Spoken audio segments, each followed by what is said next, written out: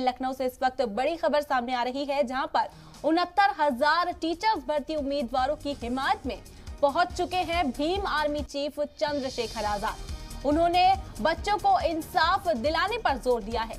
चंद्रशेखर आज़ाद ने लखनऊ पहुंचकर बच्चों को इंसाफ क्यों नहीं मिल रहा, इसका मुद्दा उठाया है। उन्होंने कहा कि क्या एक तबका की तरक्की से मुल्क बन पाएगा? चंद्रशेखर आज़ाद ने सरकार में दलितों को इंसाफ नहीं मिलने की भी बात कही है। और उन्होंने साथ ही साथ ये भी कहा कि ज़रूरत पड़ने पर असेंबली तक वो कूच भी करेंगे ताकि जो तमाम तबके हैं उनको उनका हक मिल सके, जो तलबा है, जो दूसरे तबके से ताल्लुक रखते हैं, उन्हें भी उनका हक मिल सके।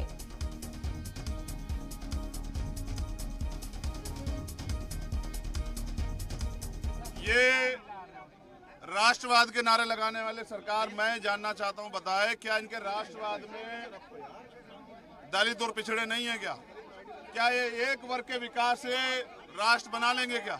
मैं ये भी जानना चाहता हूँ ईमानदारी का पाठ रखने वाले मुख्यमंत्री बताएँ कि ये घोटाला हुआ है पिछले वर्ग आयोग ने माना है तो आप न्याय क्यों नहीं दे रहे हो? क्यों डरा रहे हो बच्चों को? तो आज तो आंदोलन शुरू हुआ है। कब तक चलने की संभावना है ये? आज ही आज ही सरकार झेले। अभी तो बहुत कुछ पोटेंशियल बाकी है अभी वर्कर आ रहे हैं।